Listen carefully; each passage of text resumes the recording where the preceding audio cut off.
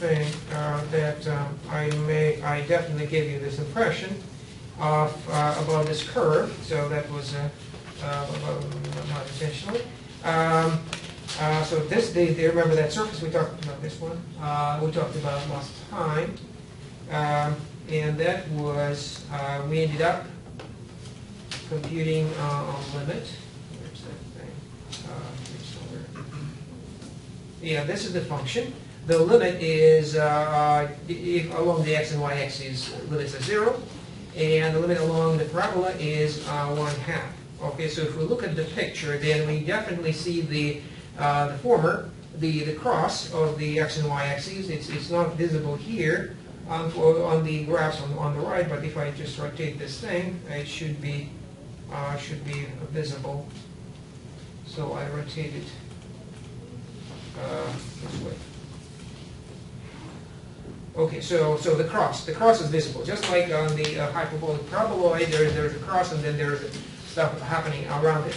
But uh, if we look at from above, uh, then uh, the, the cliffs, the cliffs, what, what can you say about the cliffs based on the, the cliff, you see cliff on the right, cliff on the, on the left, okay? So based on the limit, the- that, this limit, the second one, the last one, uh, what can you say about those two cliffs? Uh, vertical asymptotes? No, no, no, no, uh, no, the- there's, a- there's a vertical drop, uh, from zero to one half, right? So the cross on the, on the zero, zero, level zero, and then, uh, the height, uh, if you approach along the parabola is one half, and that's the drop. It's not a, uh, an asymptote, but it is a vertical drop. Okay, so, um, so I, that's why I call it a. Um, um, but that's not the picture. The- Excel is trying to connect this into a one nice curve, and it, it only has these points to work with.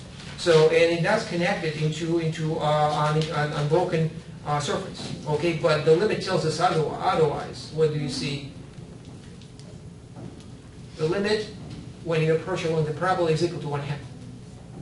Okay, so, what does it mean for the picture? It definitely means it's, it's discontinuous there. Right, right, right. Uh, But suppose you're walking on the, on that orange cliff, what happens? Oh, And you keep walking. yeah, you fall off and you land. Uh, Do you, do really fall off if, if you, uh, you, you kind of, you have one hand, one foot on the cliff and the other foot is maybe hanging down? It is, yeah, if you have some, any kind of size. But the point is, uh, and then what? Suppose you don't fall, then what? Keep going at the same elevation you were.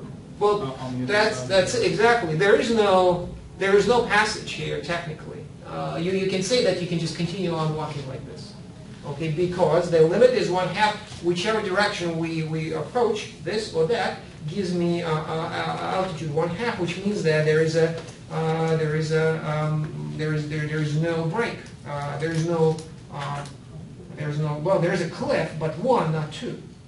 So this is, let me try to make that picture. So uh, roughly, it looks like this is the, uh, so the cross, like this. Uh, Parabola, look, so vertical drop, okay, and then, and then there is a cliff, oh, not a, it's not a cliff, it's not, a- this is the parabola, and, and the, the height is one half. So if you approach it from the bottom, you will have, on- be on, on level zero, okay? But if you approach along the uh, parabola, it will be at the top, and you will be at the height one half. And, and there is a, there is a, roughly, I would do it like that. So there's only one cliff. This is the vertical cliff. Elsewhere, the cliff is not vertical. Okay, so I guess this is close to what I'm trying to say here. Okay, so, uh, so there is a, there is no passage. Uh, yeah, uh, so there's no passage because the graph continues on maybe like this over on the other side. There is no, there is no passage. Uh, because of the vertical drop, the, uh, the Excel cannot, cannot recognize that, that, connection over here. Probably contribute into, into that, but uh, there is actually, so it's not a cliff, there's actually, I, I looked up a word, uh, I remember it's called a, a promontory. So it's a, like elevated area of land protruding into either lowland or um, water.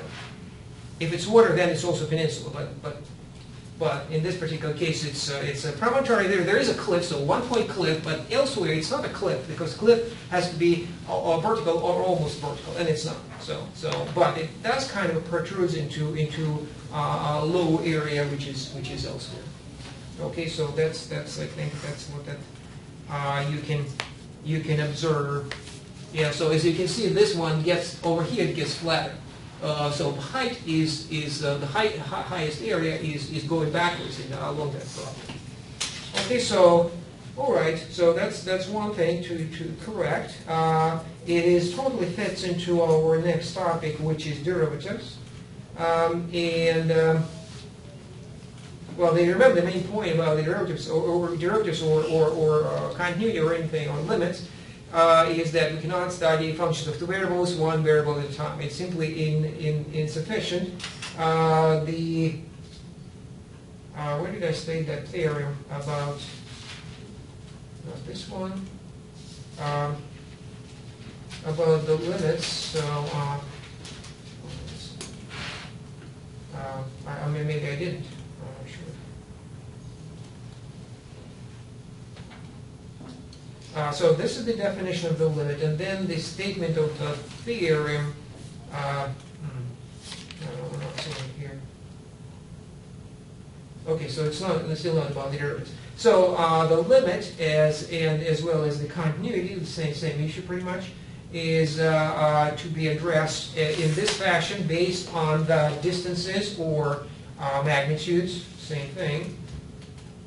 Okay, so, so the convergence is like this, like this, uh, but uh, um, the convergence, uh, and, and then if, if, if you have a convergence of, of this kind, so based on the distances, then, let me state that theorem. So theorem,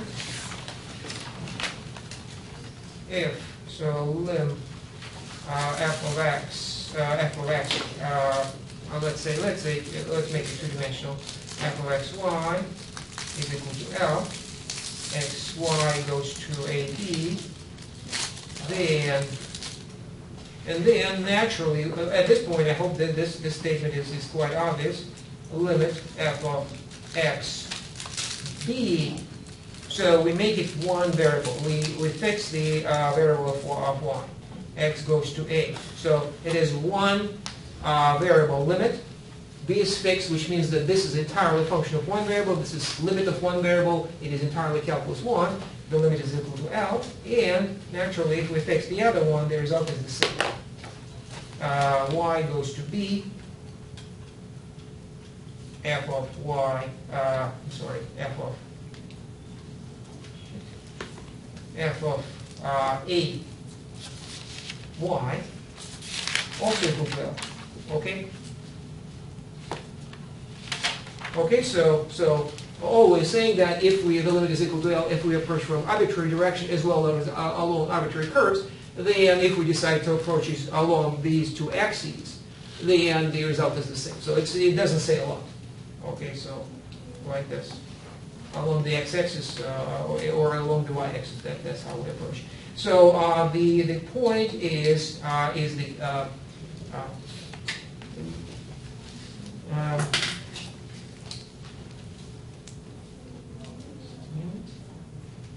The question then is about the, as with, with all theorems, the question is, um, the, the converse.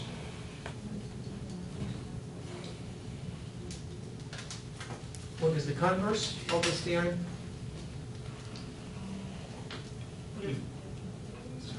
Yeah, go ahead. Um, I would say that if the, you do like the bottom two, if those do not equal L, then the limit of xy going to AB of f of xy would not equal L. No, you're sure it's, no, it's not, what you said, it's not, it's called the contrapositive. It's the same statement, only you, you you go, uh, A implies B, you replace it with not B implies not A. So that's, if you not equal, this not equal or that not equal will be, will be negation of the statement, and then the limit does not exist, is negation of the first statement. That, that's the contrapositive. So contrapositive positive form of the original theorem. The converse is when you reverse this way. B implies A. Uh, I don't think we have discussed this, uh, uh, so, um, uh, example of a contrapositive statement, uh, well, uh, how about from calculus one, we have, uh, um, uh, Fermat's theorem, if the, you have a differentiable function and it's, and it's a local maximum, then the derivative is zero. What's the contrapositive? If the derivative isn't zero, it doesn't have a local extreme in there, if it's differentiable. No, that's, again, contrapositive. Oh, I thought you said contrapositive. I'm sorry, uh, yeah, so what's, what's the converse? I'm sorry, yeah, converse. What's the converse of the, of Fermat's theorem? It- It's not true because we know that it's, it's not true. Well, it's not true, but you, you still can say it. Um, If, uh, if the derivative, if you have a differentiable function and if its derivative at x equals a is zero, then it must have a local extreme of it. Yeah, that's right, so, um, uh, uh, and it, it is not true, the example of which, the counterexample of which is, what? y equals x cubed. X cubed, the example of, uh, that proves that it's, it's not, not enough for the derivative to be equal to zero in order to have a maximum minimum point. Okay, so, uh, some of the converses are true. Uh, one is, the converse is the, if, if you take the Pythagorean theorem, and if you state it carefully, then, uh, which Pythagorean theorem pretty much says that you have, uh, uh, if you have a right triangle, and then, then a squared plus b squared is equal to c squared, uh, where c is the opposite of, of the right angle. However, there's a converse, usually doesn't come up. If this, this equation is satisfied, a squared plus b squared is equal to c squared, then the, the angle opposite to c will be 90 degrees.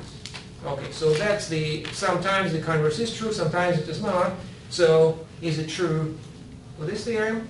Which is, let me state it, if, if you, if you were uh, uh, concerned. So suppose this is, these are satisfied, does mean that the original statement is satisfied.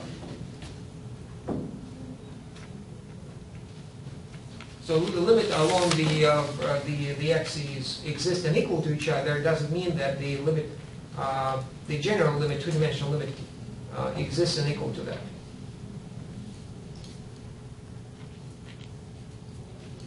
I I imagine no, right, because there's lots of other ways to approach the limit. Right, so, well, there you go. The, the, the answer is no, and the, this example is, is, is, is the, uh, yes, is the counterexample, just like x cubed example, a counterexample to the converse of the Fermat's theorem. Uh, this is the, this example is the counterexample to the converse of, of this theorem. Okay, okay.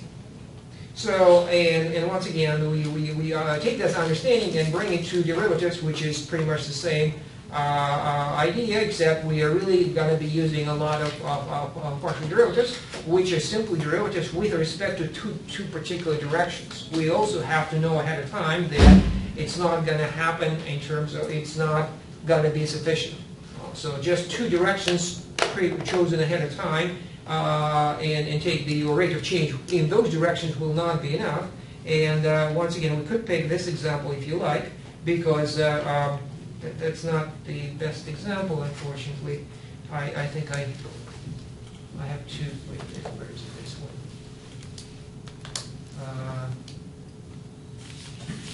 Uh, maybe it was two.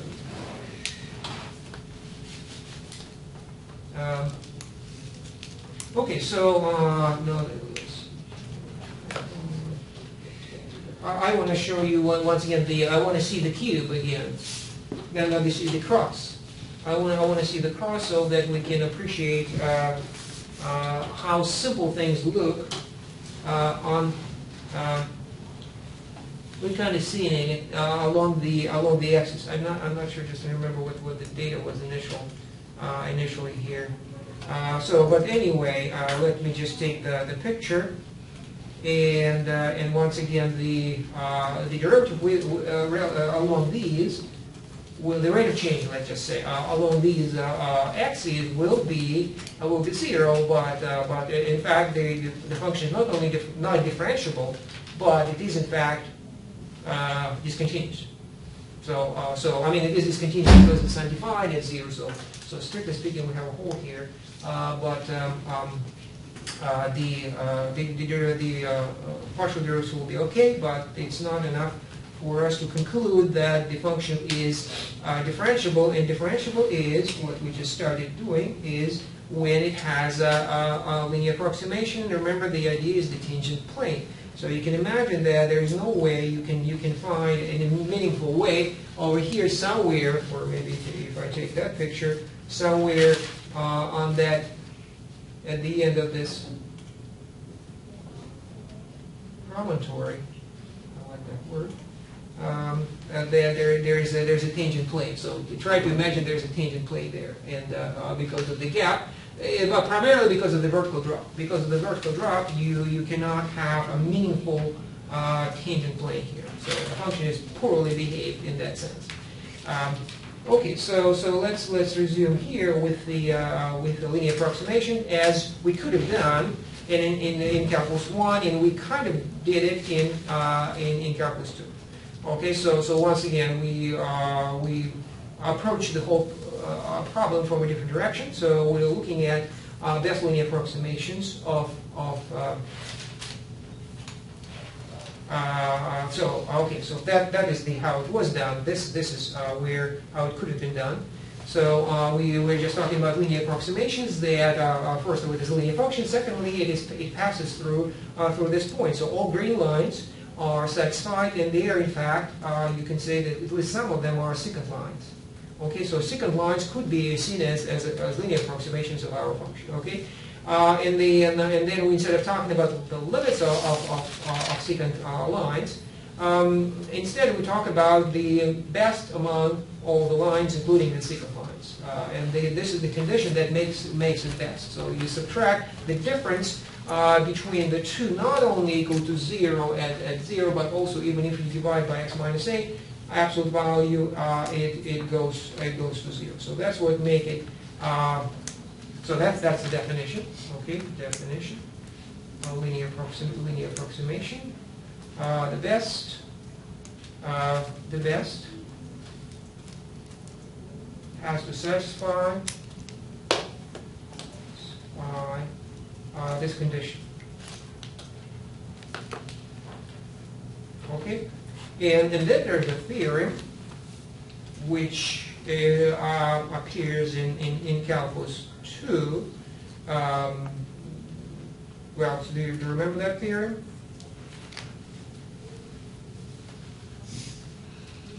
So the best, so if, if, so if uh, f is differentiable at x equal a, then uh, its best linear approximation is what we already know it is, except we started from a different directions. It's at the top. So uh, L of x equal to f prime of a, x minus a, plus f of a. Okay? So it's a linear function, and with the slope equal to the derivative. Okay, so derivative is the best choice for all, uh, among all linear approximations. So, uh, do you remember this theorem? It's a part of a bigger theorem called, maybe if you remember the name, Taylor's theorem. Taylor. It is Taylor, uh, about Taylor polynomials, so this is the very first part of the Taylor Taylor theorem about linear approximation, we're also you can say it's T1, remember, so uh, Taylor polynomial of degree 1, okay? Uh, okay, so, so the advantage is, uh, um, to begin with, uh, is, is the, um, uh, the limit that we, we do not define the derivative as a limit anymore. We already know that we, we run into trouble with that, with this, we did. Remember this? Uh, if we try to do function of several variables, then we, we end up dividing by, by a vector which is not allowed. Uh, but instead, then we are not defining the derivative as a limit, but rather define uh, the derivative as, as, as something that is satisfies certain properties. So we start with linear approximations. The idea of tangent line or tangent plane is more or less clear, and then uh, uh, the, it turns out that the slope of the tangent line is the derivative. And similarly, we already know the answer. What if we're doing a, uh, with a tangent plane? Uh, we're not going to change a lot here. Um, and the answer will be simply instead of having one slope of a tangent line, there will be two slopes because it's tangent plane. Uh, But otherwise, it's, it's very simple, so we have point AB here. We already did this, but we could just, just as well uh, do it one more time. So you have a, a uh, z equal f of x, y. Uh, The point we are concentrating is here. Okay, so, and then, uh, and then, uh, uh, so we, we, this is what we're trying to find, like this. Uh, A plane that resembles the, our surface as much as possible. Okay, and so, and so then the definition of a, of a linear approximation is the same, it's simply planes that pass through this point. Okay, so, okay, so once again, uh, so we're moving on to dimension two. Very, very, every, everything is gonna be very simple. So our linear approximations are tangent, uh, secant planes. Summations are, say, L of x, x, y equal to, uh, they, it will be, remember that form of the, uh, a point slope form of a plane. What does it look like? So it's very similar to this one. No, no, not that one, not that one, but rather what I'm trying to refer to is this one. Point slope form, formula of a, of a plane. So the point AB here, and this point is, by the way, f of AB. Okay, so what's, what's the formula? It's, um, It's the derivative in the x direction. No, that, that, that will be once we find the best. I'm talking about just linear approximations, period. Oh, So all, uh, we, I'm, I'm talking about all planes that pass through that point, all planes, and then we'll pick the best one of them. Um, M M, times minus a yeah, plus n times y. plus F of A, right. So point slope, point right there, s- and two slopes. That's the only difference, uh, we have, we have two slopes. Okay, so and it is a linear function, the, the graph is a plane, we know that, uh, uh, we know that, and then, uh, but it might not be the right one. It could be, it could be any slope, in any, in any direction. Uh, It, has two degrees of freedom and it could be sloped uh, in in various ways. So, and then the theorem, once again, a kind of a a Taylor type, well, I, I, I I haven't stated the definition yet. So the best linear approximation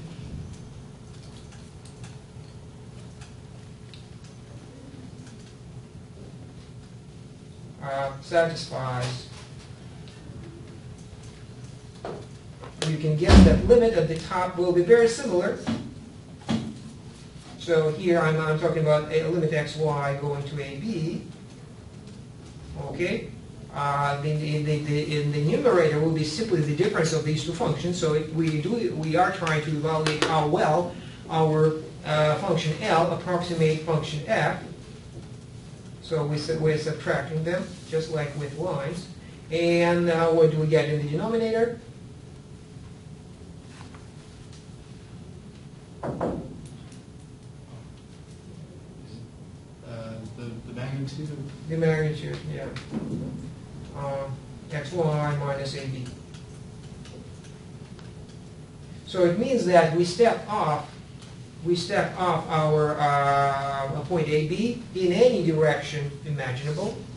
Okay, so in any direction we st- step, or maybe in this direction, okay? So this will be xy. And then, then the denominator is this length of the red uh, interval, okay? And, and then, and then we are comparing, uh, in the meantime, we're comparing the, uh, the, so if I take this up, and this point will be on the graph, and then there's a curve here like this, and then what, this is what we are comparing. Uh, The numerator will be this. Mm, mm, mm, no. Okay.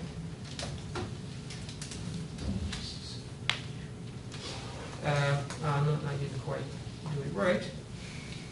Okay, so, uh, let me uh, draw a new plane here.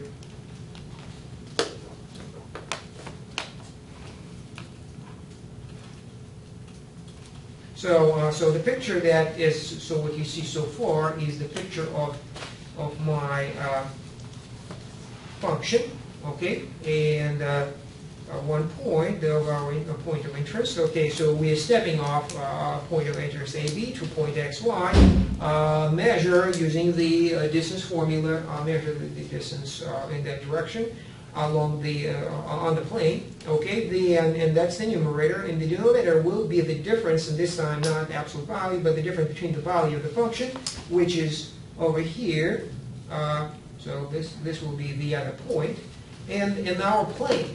And the plane is, will be, let me try to do it, reasonable jump here.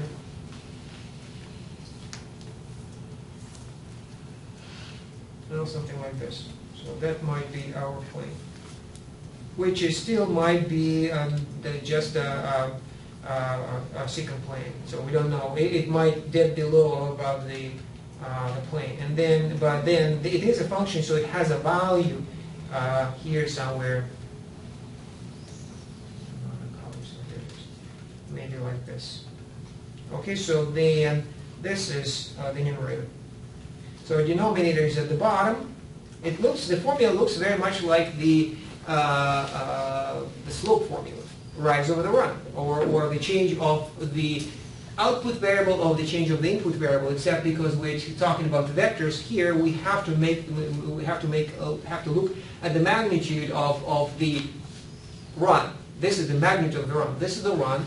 This is the magnitude of the run because we want to divide by it, so we are forced to, to put it in the uh, um, in the magnitude uh, uh, in the magnitude. You know, and then the numerator, the numerator is uh, numerical, so we're just subtracting uh, this one. So uh, that point, the black point, is on the uh, on the uh, plane. Okay, maybe like this, like this like this, so that it it is on, the- I'm sorry, on the curve, the black point is on the curve, the, the purple point is on the plane, and we are looking at how close they are. Okay, so that divided by this, okay, so that's, that's what we have. And, uh, and then, uh, uh, and then the theorem we also already have, so no, no trouble, we are just following the footsteps of, of calculus one and two. I have my theorem, um, of that theorem that is still visible, so I have my theorem. So, um, well, slightly different. Actually, there's a part of the definition rather than anything else. Uh, and we have to add these words, uh, when L exists, F is called differentiable.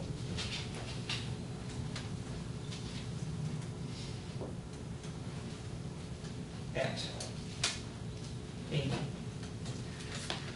So differentiability is not defined in terms of derivatives, so partial derivatives. It's defined in terms of linear approximation. So in other words, if there is such a thing as a tangent plane, then the function is called differentiable, and vice versa. So, so that way we do discard any kind of nasty behavior such as this.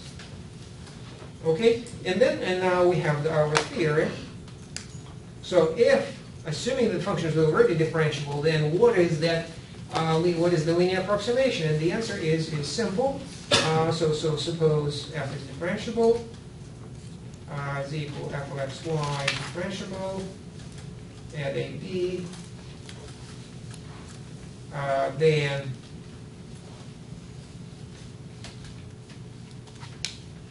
uh, Lx, Lxy. Now, uh, everything is specified, the only those two degrees of freedom, m and n, now they're replaced with the specific functions, and, uh, um, uh, and, well,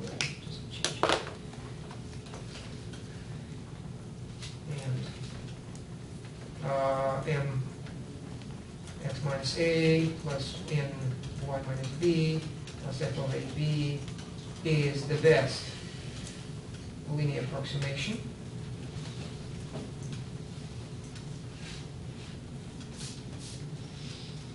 Then we can write what those, those are. m is equal to the derivative of df dx uh, at a b, and n is equal to df dy at a b. So It is just a matter of notation using the curly, uh, uh, curly Ds, uh, the derivatives with respect to x and y at uh, x1, at AB, uh, called partial derivatives.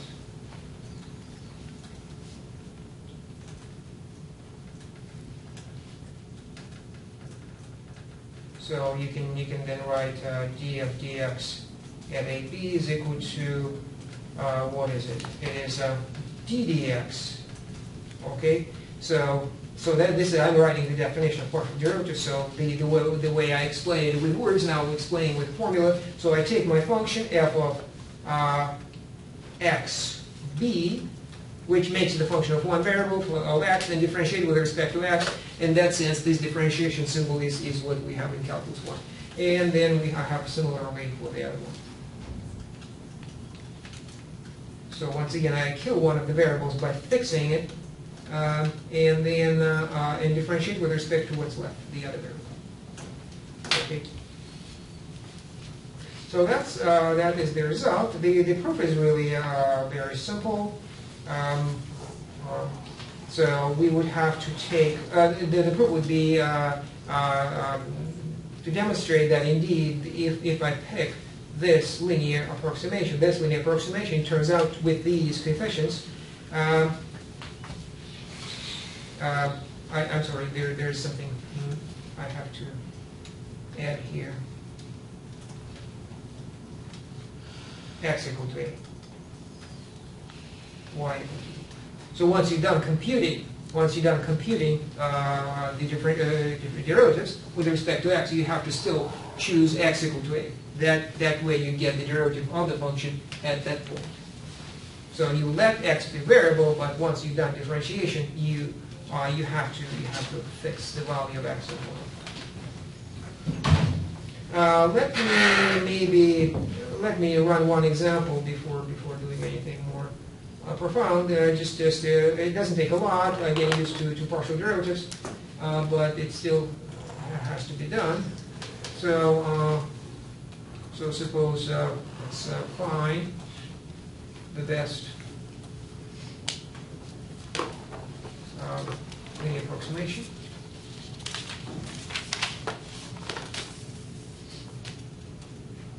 Tangent plane as well, same thing. Of, say, z equals f of x, y. Well, let's pick a couple of points, x, y, hy- hyperbolic paraboloid in a circle will start with zero, just to, uh, to confirm the computation is, is, is, is is very straightforward. So at zero, and then we pick another point, say one, one maybe. Okay, so, uh, uh, so once again, I convert my function into, uh, into the function of, of one variable. Uh, so, uh, so df dx at zero, zero, so I put d dx, put here in big parentheses, I put my function with uh, y replaced by, by zero. What do you know? And once I'm done, I plug in x equals zero, well, certainly will, will be simply zero, okay? So, uh, so nothing, is no, no differentiation is happening because the function is so simple. Okay, so we already knew that, and then uh, uh, with respect to y, it is the same story. Uh, zero times y, y is equal to zero, and once again, the answer is zero. Okay, so, uh, uh, so as that, that, that, that these two give me the cross, give me the cross. Uh, and uh, uh, uh, so the slope whether in, in the x direction is zero, the slope in, in the y direction is zero. Already from that you can conclude what the answer is. But if you want to use the formula from the from our theorem, then as you can see, it is simply the um, well, a and b are, are, are zero. A and B are zero. Uh, f of AB is also zero. So, so these are the coefficients. So my my my my uh, plane and my linear approximation will be. Uh, uh, let me write it out anyway. F of AB. I, I think I'll just write the answer. So it will be. No, that's it. It's zero. It just take, takes longer to write it. Um, so because uh, x minus a will not be there, and will- because multiplied by zero, and y minus b is not there because it's zero. So that is uh, um, just too simple to, uh, to dwell on, but uh, uh, it is kind of interesting uh, if you, if you think about it, if we take our uh, paraboloid, if I just remember where it is. This, this here, the one. And indeed that, uh, the tangent plane is, is the horizontal plane, uh, the, the uh, xy plane is, is the, uh, the tangent. Okay, so even though it is, sticks out, if you look at the picture again, uh, it sticks out some, so the two qu- quarters of the, of the graph sticks out above the, that part of the saddle, above the xy uh, plane, and the two one for the legs are below the xy axis. Okay, so that purple one goes down and the blue one goes up. Okay, and so let- let's take another point, so just to produce some, uh, uh, uh, the answer that is uh, not as trivial. So I take one, one, so my A is one, B is one, f of AB is also one. Okay, so that's my function. Uh, Now let's do differentiation, d of dx at 1, 1 is d dx. What is the function? x times 1. x times 1, uh, x equal 1, so it is 1. d of dy, 1, 1, by definition, we differentiate with respect to y. What do we differentiate? We get rid of the function of two variables, make it 1. So it will 1 times x. And x, uh, I'm sorry, y, uh, uh, but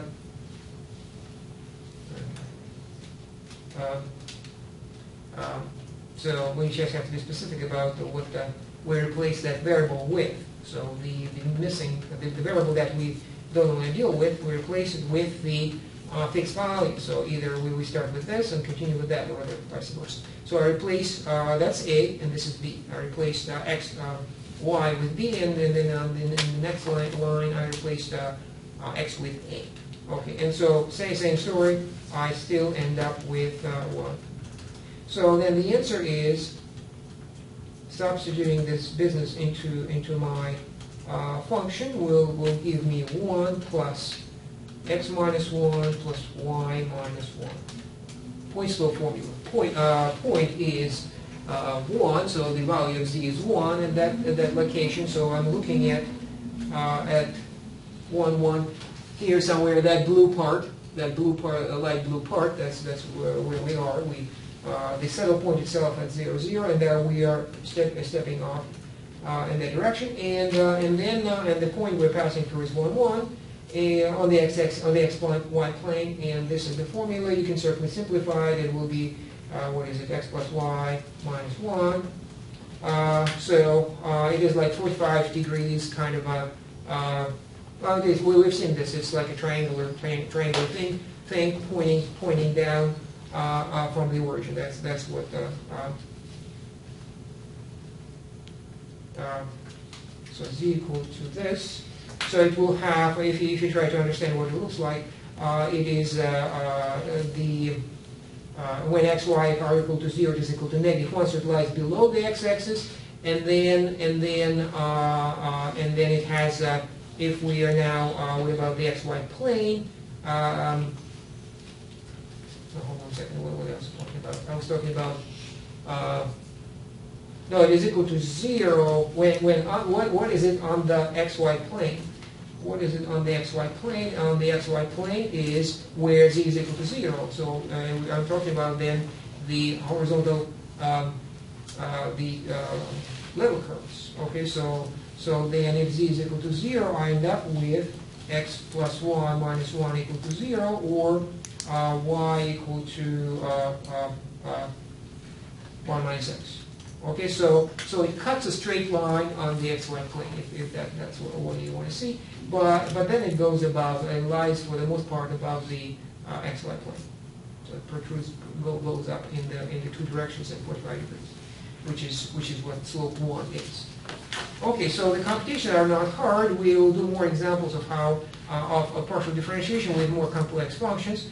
uh, as just, just a technique that you have to um, learn. Uh, But at the same, in the meantime, let's, let's finish the, uh, the, this topic of, uh, uh, of of linear approximation. So that's what the, behind, the beyond, and behind the functional differentiation are the slopes of, of our, our plane, the Teeney plane. Uh, This is the theorem uh, proving, I, I want to show you that this condition is not only has this uh, clear geometric meaning on the left, but also it is very easy to establish from the, um, uh, from the, uh, from the formula. So, let me point that out. So, so suppose L of x, y is f of x, y plus m x minus a, y minus b, uh, b, y, uh, n, n, y minus b. So that is a suspected, um, uh, that's linear approximation. Okay, the, and we plug it into our formula. So it's, does it satisfy, does it satisfy our, uh, our limit? Uh, and the limit is, uh, once again, it's L of x y minus f of x, f of a, x y. I'm sorry, this is not x y, this is a b. It is a linear function after all. Okay, uh, f of x y divided by the magnitude of uh, x y minus a b. Okay xy goes to 80. Okay, let me plug it in.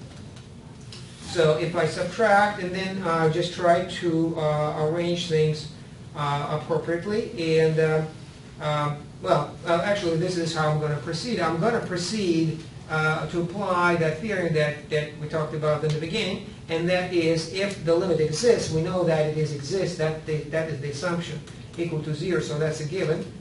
And now it means that according to that theory, we could we could go one direction at a time. So so then by the theory we have first I now go along the x-axis only. Then I have the limit of x goes to a, L of xb minus f of xb over, and now uh, what, what does the denominator give me?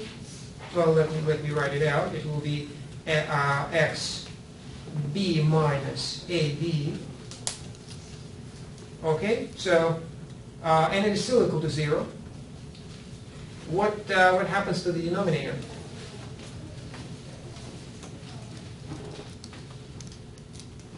The distance between xb and ab. It approaches zero. It is approaching zero, but you, you can actually, I don't want to, uh, it is approaching zero, yes, but, uh, uh, yeah, I can, I can simplify the expression. So just the magnitude of x minus a? That's right, x minus a, because uh, b, uh, y does not change, okay? And in the numerator, uh, I I substitute what I have over there, and I have f of uh, at, mi- uh, hold on, uh, yes, uh, minus f of xy plus m x minus a, and the last term disappears, and y minus b disappears because, once again, y is equal to b. Okay, so uh, we'll finish this next time, but uh, things really fall into, into your lap uh, once, once you do one variable at a time.